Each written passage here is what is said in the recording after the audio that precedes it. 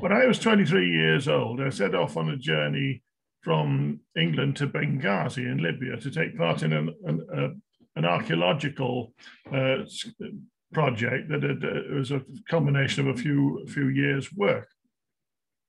I'd been out there twice before, uh, and each time I'd flown out and flown back again. This third time that I was uh, going out, I decided it be more interesting to go over land. And this is this account is my, of, of my journey there and back. In the process, I uh, traveled about 6,000 miles. I should have done only 2,000, uh, 4,000 miles, but uh, interna international events influenced my uh, journey getting there. Uh, I visited some 20 ancient sites in the course of the of the uh, trip, um, and I uh, um, appreciate that although people watching this have an appetite for archaeology, they probably don't want to have a fine and uh, infinite detail of the subject. Uh, something that was brought home to me on in the later stages of my trip when my colleagues and I saw a, a Roman arch coming up in the distance, a triumphal arch, and uh, by that stage we just slowed down, looked at it as, as we went past, and none of us even suggested stopping. It was just another arch after quite a lot. So this is the account of this journey.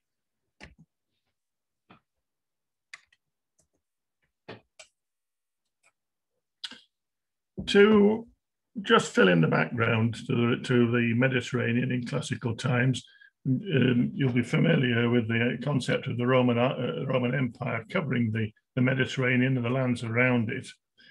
The, the eastern part of their empire had uh, been gained largely by conquest initially over, over the Greeks, their neighbors. Uh, and the Greek Empire had included not just the Aegean and the much of the Adriatic, but um, also the northern northern North Africa areas around the, the, the Black Sea and even the Levant. The western part of the Roman Empire uh, had been gained by conquest from over the Carthaginians, the uh, descendants of Phoenician travelers from the Levant, who, whose, settle, whose capital was at Carthage. Now, in the process of my trip, in 1974, I visited the cities of Athens, Rome, and Carthage. So, in the space of about two months, I actually saw the capitals, uh, or what had been the principal cities of these three different empires, as well as, as I said earlier, many other sites and towns and cities uh, of the of the Roman classical world. My tale begins really not in England. I cut that bit out of the journey, but in northern France, where in August 1974, I found myself working on an Iron Age cemetery excavation outside the city of Reims in the, the old territory of the Gallic Remi tribe. This was uh, had got me a, a, a useful stepping stone on my journey and the first, uh, uh, and I was felt that I was dealing here with the the classical um, Gauls that Julius Caesar uh, conquered in the 50s uh, before Christ, at the end of the Republican period of, of Rome. The, but the first monument of, of that Roman world and the classical architecture that I saw was when I left Reims, when I set off on my journey for, uh, and, and, arrived at, uh, went from Reims station, which is uh, adjacent to this classical arch called the Arch of Mars, a third century triumphal arch. This was an introduction. I felt here that I was leaving the, bar the barbarian world of Northern Europe and setting out towards the, the classical Mediterranean. But it was the first of many sites that I was to see. I dwell, uh, deal with this early part of the journey in some, some uh, detail simply because it was by train and the train from Paris, where I left the, the, the Reims train and, and set off for the Gare de Lyon was the famous Orient Express to Athens. Now, the, the Orient Express left at midnight from the Gare de Lyon, and I, I arrived well before that to, to buy my ticket uh, and to uh, see what see what I what the travel involved because it was three a three a journey of three nights, um, arriving on the following Thursday morning in Athens. But the benefit of uh, of those who were fortunate enough not to travel on this train in its later stages of service. It went out of service altogether two years after my trip.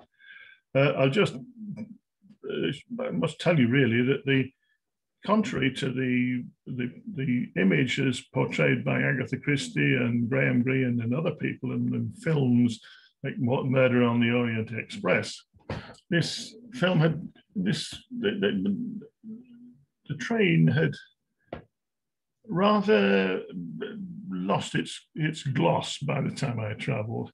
It was more like some of the the uh, mixed odd rolling stock confections that used to travel the Leeds to Manchester line on the on the Transpennine route.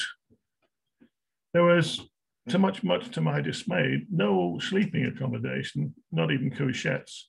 There was no way on the on the train to uh, buy any food, so I had to buy my provisions for the journey um, in Paris before I set off, and they were pretty basic. Although they did include a, a, a bottle of duty-free whiskey from the ferry, which I found very useful the, in the course of the trip.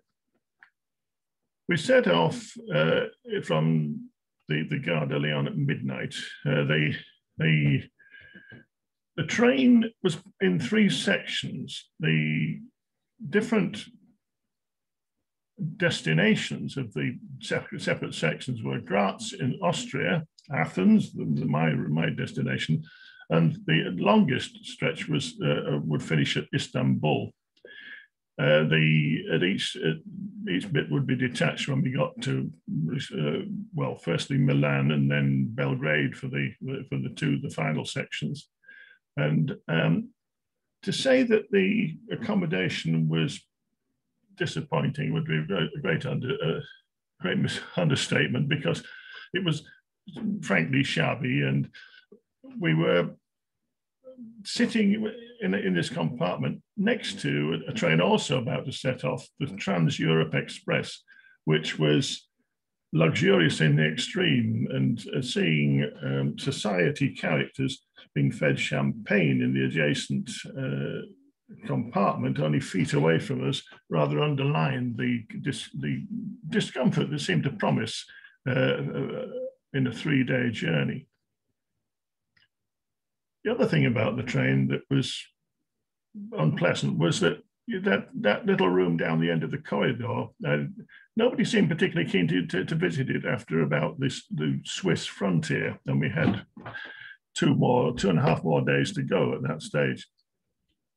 But we set off at midnight, and the the, the guard before we reached the Swiss frontier informed me that we, I wasn't in second class. I was actually in first class, which rather brought this back as brought me up a bit.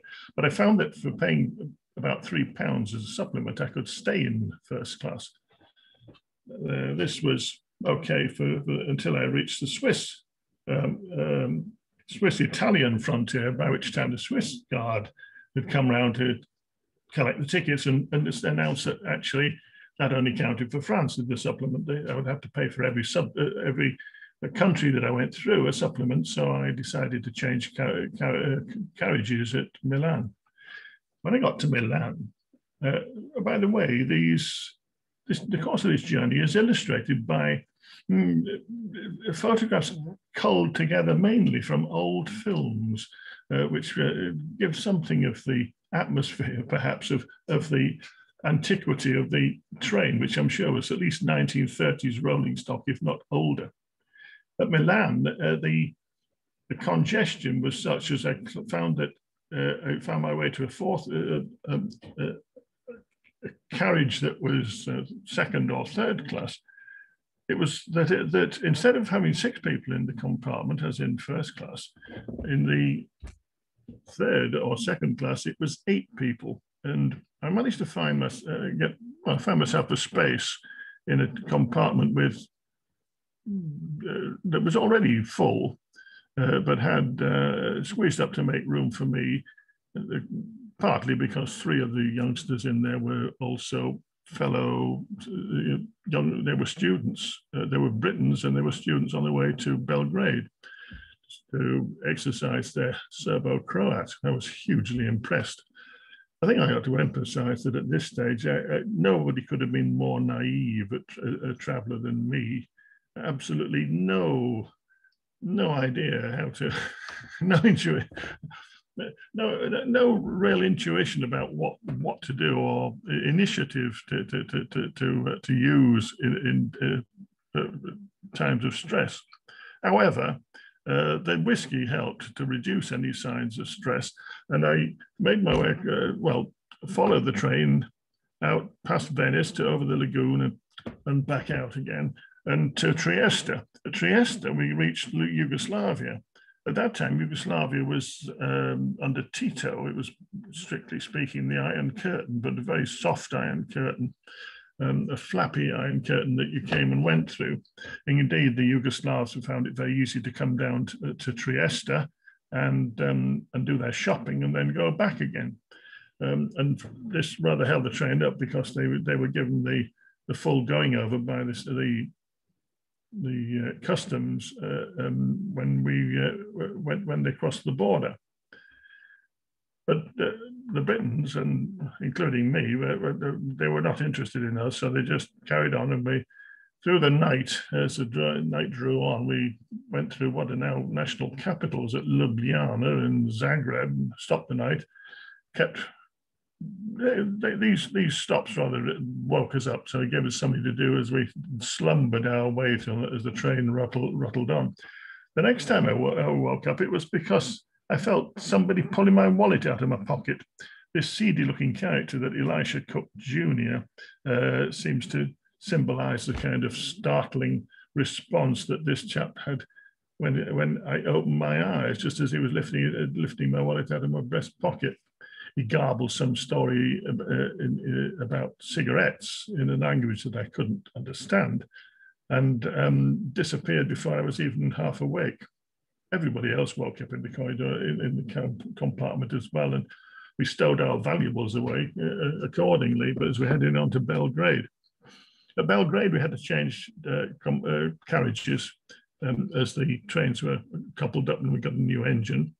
Uh, and there, um, a very sophisticated lady um, joined our uh, my new compartment. Uh, she was uh, uh really sort of the sort of Contessa type, but rather rather rather down on her luck. But managed to speak several languages, which was uh, was lovely. Unfortunately, she got out at Niš before we reached the Greek border, uh, and that left me largely in the company of three men two of whom were young Egyptians on their way home to Cairo, and one an older um, uh, Israeli man on his way to Athens. Uh, as the two countries had been at war only nine months earlier, uh, this was unfortunate, and the icy, the icy um, atmosphere um, led me to out, uh, out at the, when we reached the, the, Greek frontier and halted for the customs uh, uh, to, to get some air. As I as I as I sort of uh, hung out of the the, the the, window, looking between the two uh, between the, the uh, our train and, and, another one going in the the other direction that was halted. Um, I could uh, I heard the uh, the sound of a guitar playing, and there, um, just over the, the, the tracks, was um, a little taverna with uh, the lights on and people sitting drinking and, in, and enjoying themselves around a, around a, a table. And there was the lovely Mediterranean warmth of the air and the fresh air. You can imagine that after at least two nights and two days, and into the now into the third night uh, of uh, very limited uh, or non-existent facilities for doing much to keep clean uh, and and the or even ventilate the carriages uh, this was quite a welcome experience. But then I was watching the, the, the, the I realized that the train the other way was having the same um, third degree from the customs uh, that, we'd had, that our Yugoslav colleagues had had back at near Trieste. And um, to my amazement, I saw four car tires thrown out of uh, one of the doorways of the, of the train that sort of bouncing onto the track.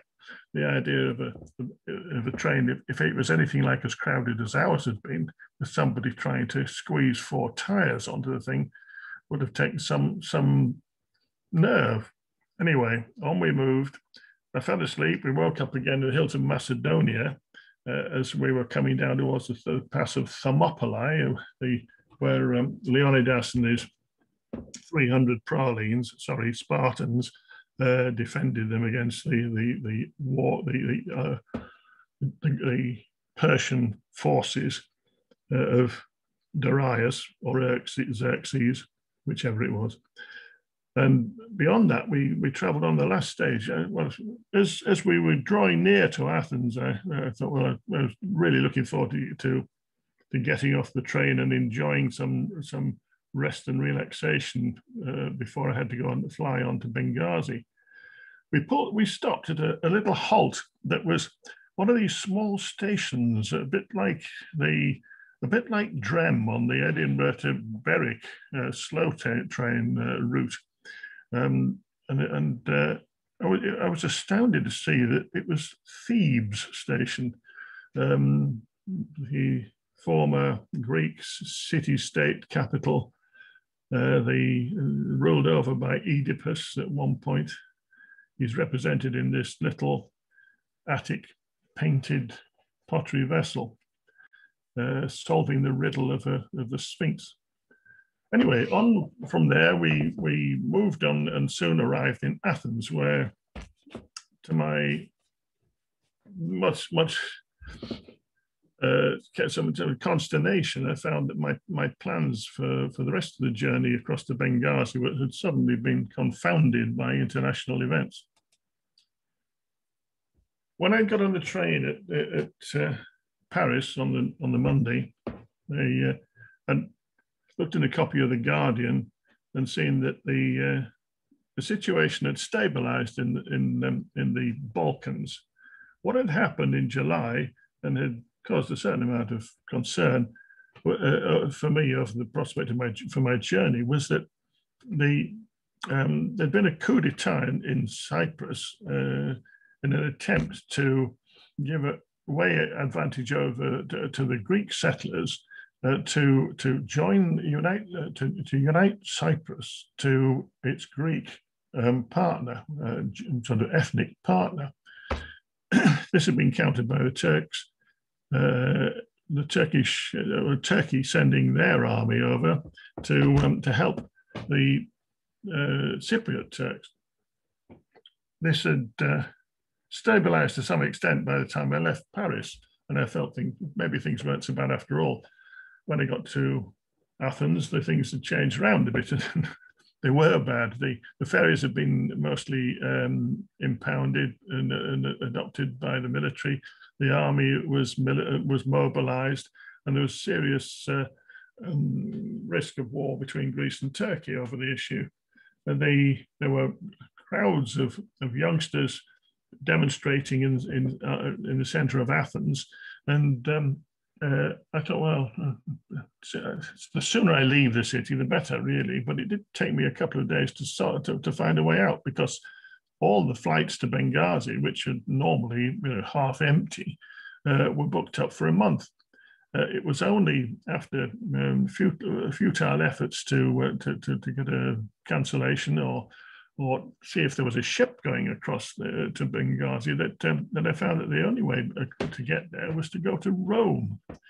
So, but even so, I, I did manage to while away some time uh, visiting the the the Acropolis and the the Parthenon and the see the, the temple of Hephaestus in in the in the the uh, in the valley below and the the agora, uh, but it was time to move on. So I took the bus from Athens across to the Peloponnese to Patras.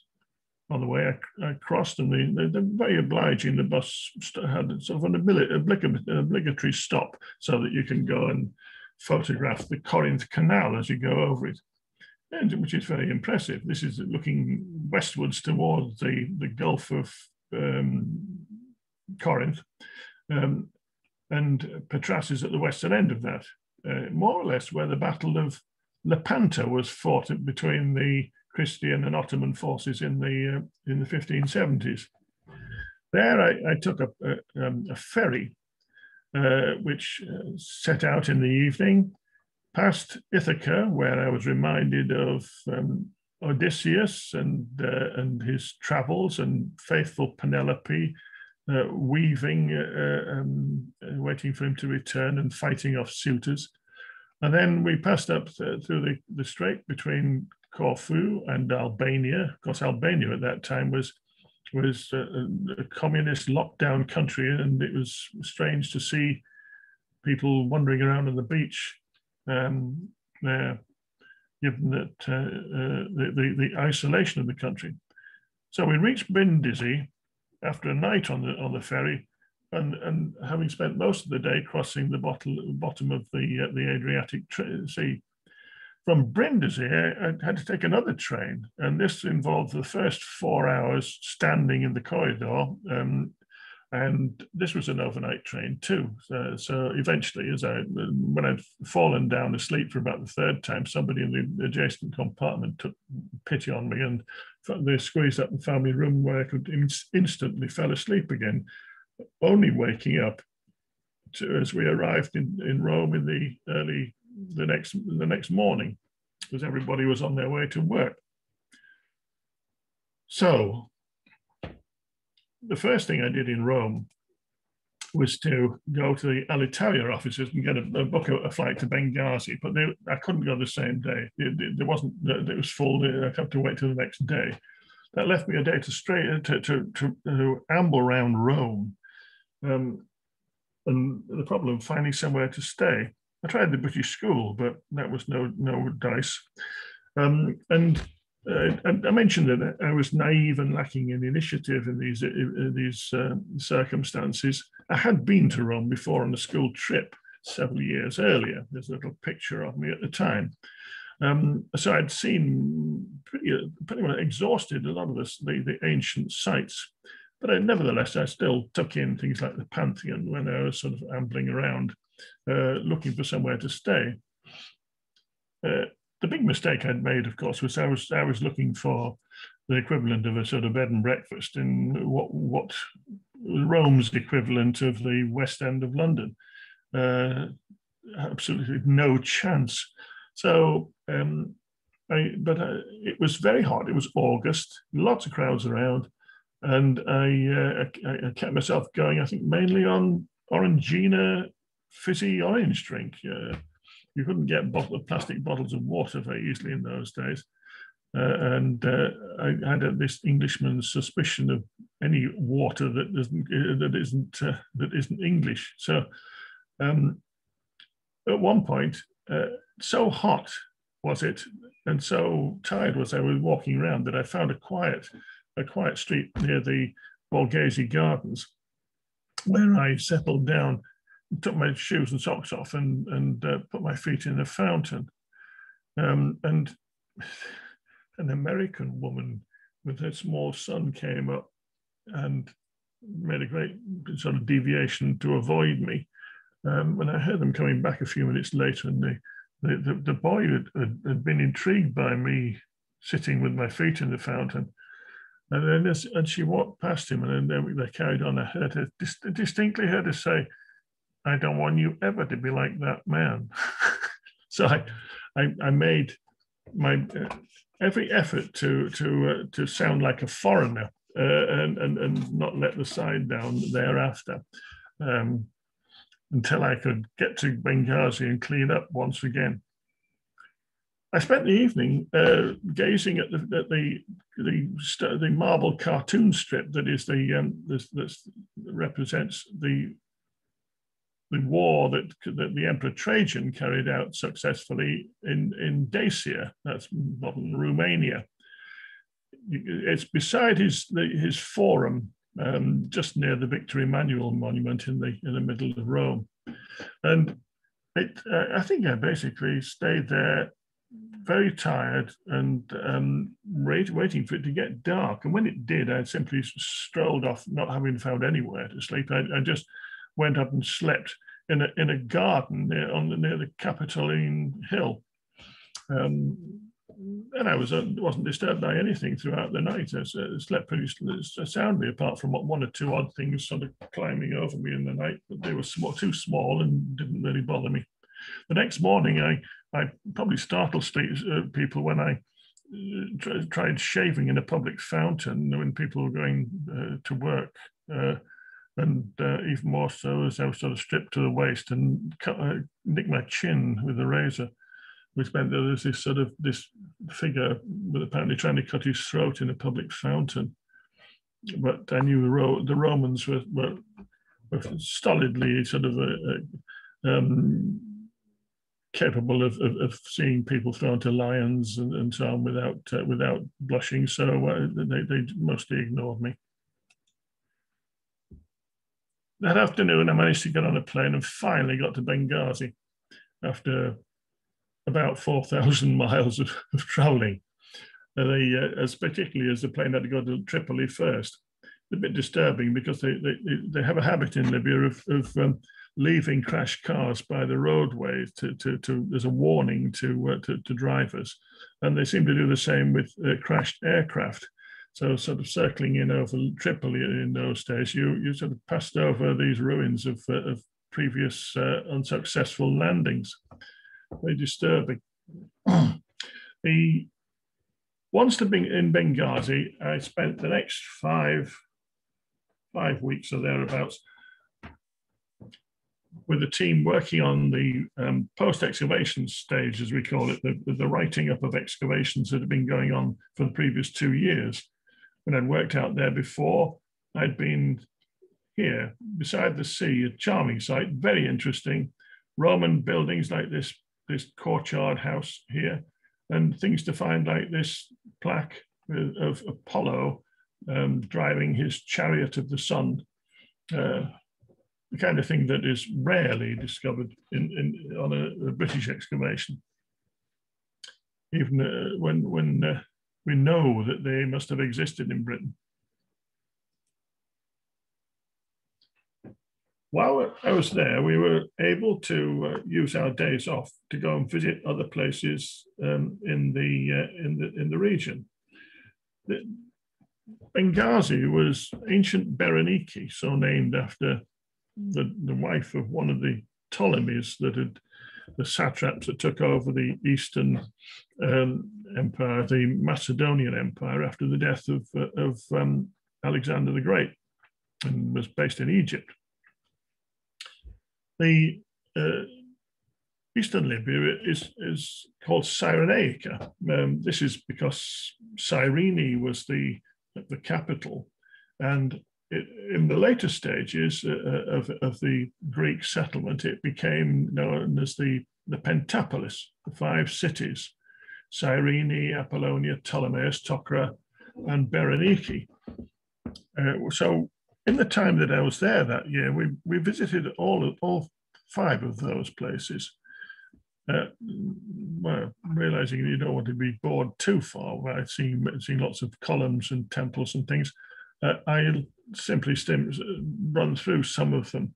Uh, I think I have to say something about the uh, the, um, the city of Cyrene itself in particular. We had this Land Rover which enabled us to get out, get around, and this is it was the Land Rover that I would be travelling back to England in at the end of the project. Cyrene is a is a, a wonderful site. It, it's it sits on a, a, an escarpment, limestone escarpment, overlooking another range of hills which extend for several miles and then um, fall as another escarpment to a, a, very narrow coastal plain, and there's the Mediterranean. in this photograph. You can see the distance, that's looking down over the escarpment. It's not sea that you can see, it's, this, it's the, the horizon. The horizon is the, the escarpment. Cyrene was founded in well, the 7th century BC by settlers from Thera, the, the island we now more, more commonly known as Santorini. And um, uh, the thing that attracted them in particular was that there was water here, uh, water in the form of springs in grottos that's coming through the limestone. They established a, a religious shrine to Apollo here, temple, and various grottos and things related to it. There was a, there was a whole sanctuary area in this particular part of the site. But as it uh, as its history developed and, the Romans extended it, it became an enormous city with a huge necropolis of, of thou literally thousands of rock-cut tombs and graves and sarcophagi um, surrounding it in different different dry valleys and, and uh, parts of the plain to the south. This on the right is, is one of the rock-cut tombs from the early stages of the settlement. In addition to the Temple of Apollo, there was also a Temple of Zeus, this one here. In the, uh, in the first century AD, uh, or second century AD, it was equipped with a, um, an eight times life-size statue, seated statue of Zeus himself, a replica of the of the eighth wonder of the world that existed in the oh no the seventh wonder of the, of the world that existed in the the, the temple at, at Delphi or Olympia um, of Zeus himself. Uh, the the effect of seeing a, a, seated god of that size in, in a temple, I, I find it difficult to imagine. But 30 years later, walked into something very similar in a temple in, in China, a Buddhist temple, which had a, a 25 meter high seated figure of a bodhisattva with 40 arms, um, very much like something out of the Thief of Baghdad film with Sabu stealing the all-seeing eye from the god. Cyrene, the Roman remains, like the theatre here and these temples and these mosaics and things, are very fine, very fine. I mean, it's a, a, a huge site. But um, it was damaged at various times. There was a revolt of the Jewish population. Uh, I mean, Cyrene is, is, particularly known for associated with Simon of Cyrene, of course, uh, from the crucifixion period. But um, there was a large Jewish population that revolted in, the, in 115 AD and um, did a lot of damage then. But in, in, the, uh, in 365 AD, the, the city was affected by a, a, a considerable earth, uh, earthquake. And the toppled columns and walls from that period, many of them were never restored or, re or rebuilt. And um, they can still be seen where they fell. Now, just I'll give you a sample of one of the cities of the coast, uh, Ptolemais, named after the satrap in uh, ruler in Egypt. The um, but older than that, in fact. Uh, uh um, uh, but the, the walls were around this city were built in about the third century BC. They're Hellenistic walls, so they belong to that Macedonian um, empire period but they enclose an area about the size of medieval York, as enclosed by York's own city walls now. The temple, the Tokra Gate, is, is a particularly fine surviving example of the gate, uh, uh of, of the, the walls. And um, the, the, the, the, quality of some of the structures is, is, is still excellent. This is the, the uh, Byzantine church from about the sixth century AD. This is a tomb from one of the um, burial areas outside the city, um, the, the so-called royal tomb, because it was originally at least three stories. This is it's, it's it stands on a block of stone because the rest of it has been quarried away around it. So it's made it artificially higher, but it is lower than it originally would have been. Um, I can show you something similar or comparable with it later on in this in, in this talk. So this was this was a, a, city of enormous size. How many people live there? I have no idea, but but it's hardly been excavated. So there are very very few monuments that have actually that are actually really still visible. The streets can be picked out for much of the way, but the the the church here is just one of many examples in Libya that benefited from the um, benefited a two-edged two-edged sword by the being in the Italian Empire in the uh, uh, from from 1911. Mussolini was particularly keen to restore what he described as Italia Irredenta, the the, the, the ancient Roman um, Empire, uh, were around the Mediterranean.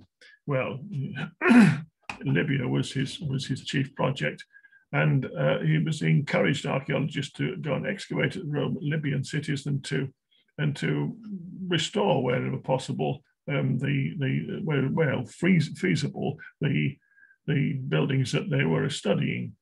So this is just one example, but I'll show a particularly good one in a little while. Oh, this is uh, just a, an incident that happened, not this, not that visit, but when on my previous visit to the to, to Ptolemais, which was why I was particularly keen to go again. Uh, this uh, we had a, a visit with a, uh, some some friends, British expats working in Benghazi and their family, and they took us out there in the car, and we had hardly hardly got started after our picnic and swim in the sea um, when their little boy fell through one of the holes in this into this into one of these cisterns. Now, fortunately, he didn't fall onto a heap of rubble like this. He fell onto a sandy bottom, but he we had to rush off um, to get him to the hospital, and, and, and the little lad was just knocked about a bit, but he quickly recovered. But these cisterns are enormous. This is one of about 15 large cisterns covering um, a square in the center of the city and fed by an aqueduct. But it just shows you that in the north, that it was such so dry that when you had a city the size of, of, of medieval York, you had to, to, be able to give them a, a, good supply of water. And millions of gallons of water must have been stored in these cisterns from the winter rains in the hills. Now, after our time working on the excavations in, in uh, Benghazi, we, uh, after it came to an end and, and, it was time to go home, I set off with uh, two colleagues initially. We met, met up with two more in, in, in, in Tunis, uh, where they'd gone for a holiday, um, and set off uh, on the way home. We were we would get the, the boat from Tunis, but we would have to get there first of all overland with a Land Rover. The first leg of the journey from Benghazi to Leptis Magna was 600 miles, and we did it in a day, um, passing from Cyrenaica into Tripolitania, the ancient provinces, which had been revived by the uh, under the, the Italian Empire of Mussolini.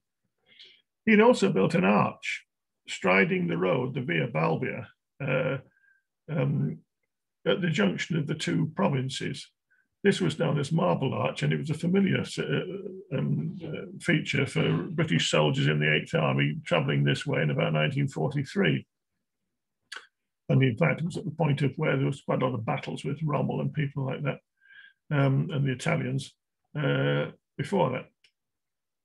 So we actually paused there to see where the arch had been because we'd missed it by about a year. Um, only the year beforehand, um, uh, uh, uh, Colonel Gaddafi had had, um, had it destroyed um, as a, an unwanted symbol of, of um, foreign domination of, of, of, Libya, which is quite understandable. But it's a great shame that we, we, we weren't there earlier to see it before it went. The, the journey was hot and dry, and we drank very little if we could avoid it. We didn't usually because it, it, it, we made up for it in the evening. You only it only made you thirstier in the daytime. But by the time we got to Bougrain, which is a place in the in the sort of uh, about here, um, things had got pretty dry. I think we ended up all we could find was some tepid mango juice in tins. So we travelled on, but there thereafter for about 20 miles was the most bleak and desolate bit of desert that I can that I've ever seen. I think it was like driving over a a concrete surface uh, with just dust and, and chips of rock around for about 20 miles, you certainly wouldn't have wanted to break down there and be left for any length of time. But soon after, we we traveled, we found ourselves in farming country, and and it was most welcome welcome to to find farmers selling melons by the side of the road. Uh, we bought some, bought some, and, and, and just feasted on them, um, much like um, I read. I remember reading later on that uh, Allan Quatermain uh, and his companions in searching for King Solomon's mines uh, had had been had their lives saved by wild melons after a 40, 40 mile trek across the desert on foot. We reached Leptis Magna and stayed there for two nights at the government rest house. We were able to explore the city um, at our leisure. We were the only visitors in those days. You, you, the, the, there was no tourist industry in, in Libya in, in the 1970s, early 70s. And the next day, well, sooner or later, we would, uh, our next visit after would be uh, Sabratha. Um, there were three cities in Tripolitania, Sabratha, Leptis Magna, and in the middle, Ia, as it was called, OEA. Tripoli is the site of Ia now, so there was not much to see there. And we, we bypassed it. I'd seen the Triumphal Arch there, and that was about it. The theatre at Sabratha was very fine, but Leptis I will just say a bit more about. Not a lot, because I don't want to bore you, but but the um, the site is exquisite with the, the, the background of the Mediterranean Sea, fabulous buildings like this theatre, and sculpture um, to, to, grace any museum. Uh, very, very um, well preserved buildings everywhere, and and, and um, very robust constructions. The first time I went to Libya, I was um, talking to my Arab friend Mufta, and he's he was uh, working for the antiquities department and, and very proud of the fact that, that the Empress Septimius Severus had been been, been uh, born in Leptis Magna because it, he was the, the only Libyan to have ruled the known world. Um, and but uh, Mufta was taken aback when I pointed out that he may have been born in Libya, but he died in my hometown of York in England. and which left him a bit bemused. And here's me in the middle, just resting myself uh, in the Forica, uh, a sort of public seating area um, with uh, with uh, drains.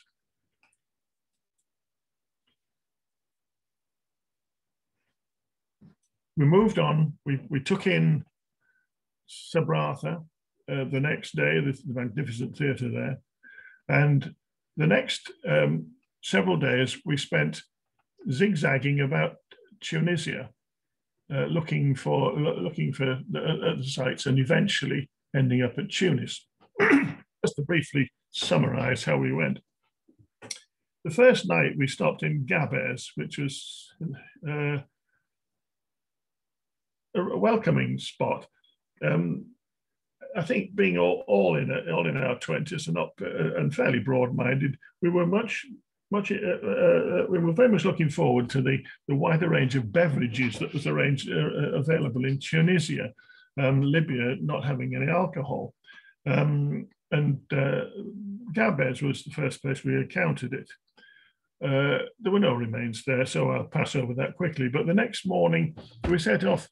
None of us feeling particularly well, but um, our driver at this occasion, Frank, insisted on being the one to drive because he could see the bumps in the road coming. John, the other one, is, uh, is the, the leader of the expedition.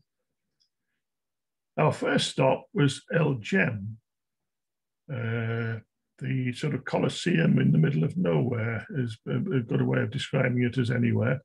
And we, in the evening, we, we stayed in Kairouan, while I was while we walked through the streets of Kairouan, which is actually a, a very holy shrine city with a magnificent, very old mosque, mosque from the, from the something like the eighth, ninth century, um, and the mosque where they they built it partly using reusing Roman columns from brought from uh, the site of Carthage.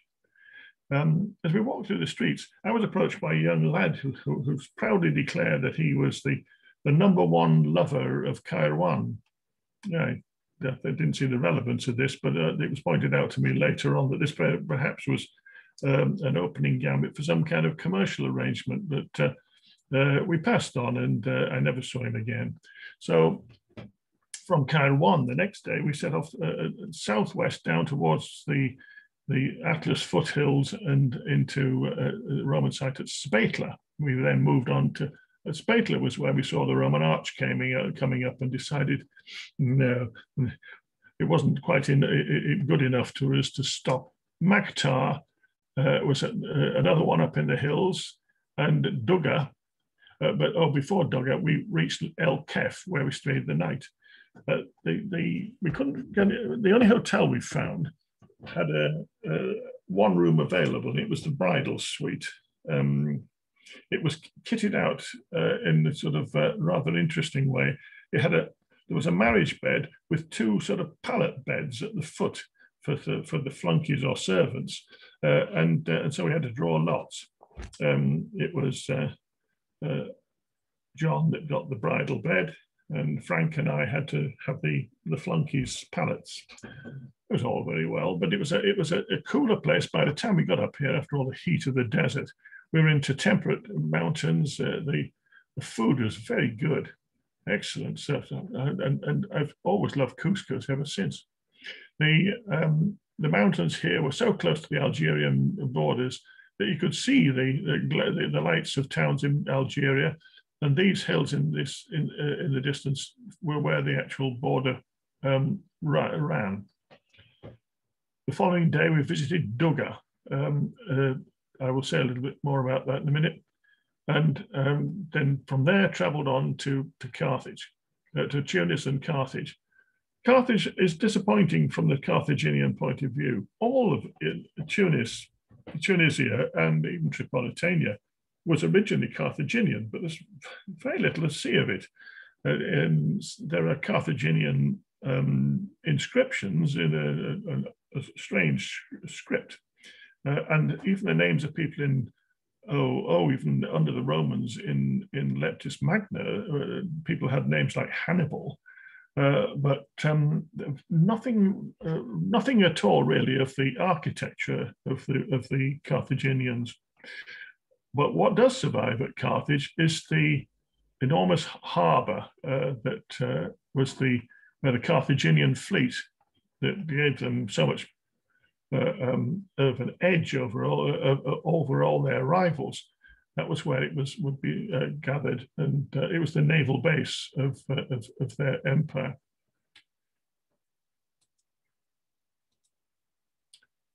Dugga. this uh, image uh, of me here uh, standing on this stone, the, the, sim, the, significance is that the, the inscription says Britannicus.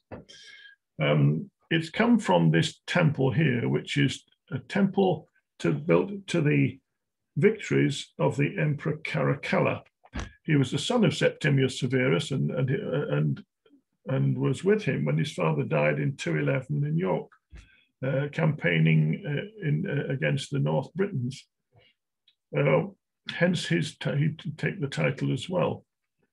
It is a superb city um, it's very close to the site of the battlefield of Zama, uh, where uh, Hannibal was um, was defeated by Scipio Africanus, the, the, the, Roman general. The hills are wonderful. They they they they're dry, but but reasonably good farming land among them. And the the season, of course, this was late September. it was really very very agreeable. Again, a, a, a, very presentable theatre survives. Um, and, and by this stage, of course, we're not in the Italian Empire anymore, as it was in the in the in the 20th century, but the the French Empire. The Battle of Zama were, was um, won uh, by Scipio, chiefly because he had the, the assistance of the Numidian cavalry of, of, the, of King Massinissa. Massinissa had been a sort of hero of mine as a, as a, a boy reading about the, the, the, war with Hannibal and uh, Livy's account um, uh, at school. And I was delighted to find that what outside the city at, at Dugga was this, this, this tomb, called which is called the Tomb of Massinissa. The thing I showed at Ptolemais of a tomb that was sort of basically a block of square, a cube of masonry, uh, uh, that I said was actually three stories originally, uh, was, was something comparable to this. Um, it's it's a, a fascinating st uh, structure, and, and, of course the, the the name is attached to it simply because people have heard of Massinissa and, nobody knows where his tomb was. But as far as I'm concerned, this is the tomb of Massinissa, and uh, this is where he's buried or was buried. As we moved on to uh, to uh, towards Tunis, we we visited Thuburbo Majus. Um, I say we visited it. We arrived at the gates. The place hadn't opened yet. We looked through, um, and weary of of, uh, of um, sort of uh, just about sort of Roman out by this stage. Uh, if there weren't more than a few columns standing like this, uh, uh, um, then we, we decided perhaps no, we'd just move on. Tunis was too inviting. So we arrived at Oudna. This um, where this is it, this heralded itself by the uh, the aqueduct but although we found the aqueduct and we found a shapeless lump of masonry, which were, which Frank was convinced was part of the Hadrianic baths, which uh, and had, had once had mosaics all over its ceiling, we never actually found a city, which is a great shame because there's apparently the amphitheatre and temples and all sorts of things as well, but we didn't get to it. We did get to Carthage, but there, as I said earlier, the there's nothing of the Carthaginians to see, but there are some baths built by the uh, under the in the reign of the Emperor Hadrian. We also visited Utica. That was the Roman capital of of um, the province of Africa, and um, it's where uh, the Senator Cato uh, died after um, uh, his unsuccessful battle with um, Julius Caesar. He fell on his sword or some such uh, in the Roman tradition. One place we did visit once we were in, in Tunis was the Bardo Museum, the finest collection of, of um, Roman mosaics anywhere in the world, uh, and housed in, a, in a, an old palace. Um, the name Bardo, like a Pardo, like the Prado in Madrid, refers to a it's a Spanish. It comes from a Spanish word and, and, and refers to a a, a, a, a garden, rather, rather like a sort of, uh, I suppose, a bibigar in, in, in, in India. When we reached Tunis, we had to say goodbye to Frank as he was going off to, to, to Italy, and we left him at the airport. But we did meet up with Paul and Becky, and um, and went travelled on four of us and uh, crossed the the um, the Mediterranean to overnight, and then through most of the next day to Marseille, where we that was originally, of course, a Greek, a Greek emporium in the fourth century BC. But um, we didn't stop there. We went on, we pushed on and found, spent the night at Arles. Um, Arles was uh, the, the, the, sort of Roman fatigue that we were showing was, was starting to uh, starting to become apparent. I mean, it has a it has a, an amphitheatre which once contained the town, and it was only because I got up early in the morning to, to go and look for Van Gogh's house, uh, which uh, I didn't find, partly because it had been demolished in the, uh, uh, in the, in the Second World War, um, that I actually got to see the, uh, the amphitheatre at all myself. But we pressed on to Nîmes, and there we saw a very good amphitheatre um, and the, the um, so-called Maison Carrée, the, the, the, the most complete Roman temple um, in the Roman Empire. And from there, we hit, we we uh, traveled a little distance into the hills to see the magnificent Pont, Pont du Gard, the the aqueduct. Um, which it's, it's difficult at this from this view to imagine that it was taking water anywhere because it's you can't see anywhere that, that would have been higher higher than the aqueduct, uh, or apparently. The, I, I, I, hopping across this was um, a little bit of an ordeal, uh, uh, unless you chose, like I did on, on the first, going one way to actually just walk along the water channel. Curiously, there was about a foot of limescale all right round you, the calcite deposits. Intriguing. Um, and But uh, coming back over it, uh, walking on the top, some of the capstones were missing. Uh, usually you could hop over the interval, but when there were a few of them missing, you actually had to walk along a, a, a sort of two foot wide wall in the full knowledge that there was a 140 foot drop on, uh, on one side immediately without any guardrail. For someone that has my head for heights, this was uh, a little bit of a, an ordeal. We finished that day in Orange. Um, and this is really where we come to the end of, of the classical world for, for as far as this this uh, trip was concerned, because here we once again meet the barbarians. Orange, Orange was was, was a city founded by uh, the Emperor Augustus in about 30 BC, so sort of not not long after his um, defeat of Anthony uh, Antony and, and uh, Mark Antony, and uh, his undoubted sort of uh, sole uh, possession of the of the of the, the power.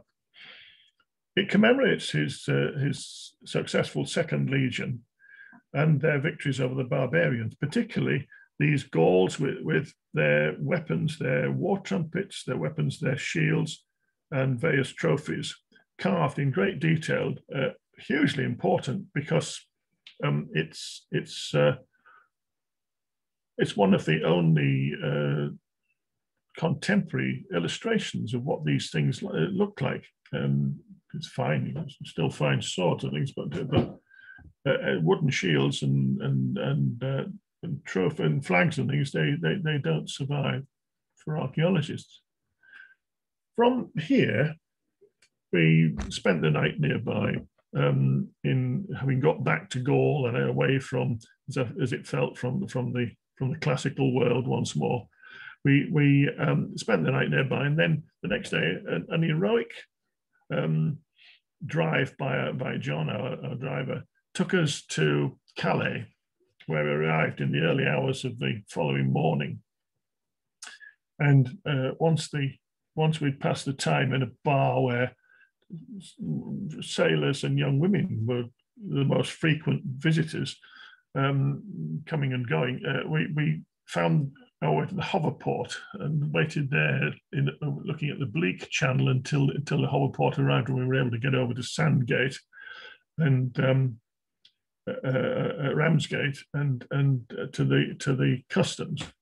Now, one of the things that we set off from Benghazi with was a stuffed fox on the roof rack of of the um, Land Rover. It was a sort of uh, a badly stuffed fox that given to us by an archaeology student, and, and we and we you know, childishly regarded it as a sort of mascot all the way all the way back. Um, it was a bad idea when we reached Ramsgate, thirsting for our first English beer and a good lunch in a pub. We found that we had to wait two hours for um, an approval from the Ministry of Agriculture and Fisheries to allow a stuffed fox, a desert fox, into, into the United Kingdom. We offered to throw it in the dock, but no, no, we had to wait until the, the, the permission had been granted, and then we were finally allowed to uh, through to, to, to, to, the town. We once uh, landed back on, on, on England shores and, and found that the, the pubs had just closed. Anyway, we, we thereafter we made our partings very soon, and and that evening I arrived back in York at my parents' house uh, to about ten weeks after um, my um, uh, my initial departure. So I was I, I, I, this talk has probably lasted an hour. Uh, I think uh, I must have been up most of the night answering the questions my parents had to, to give me that time. So we probably got off quite lightly. But thank you for listening all the time.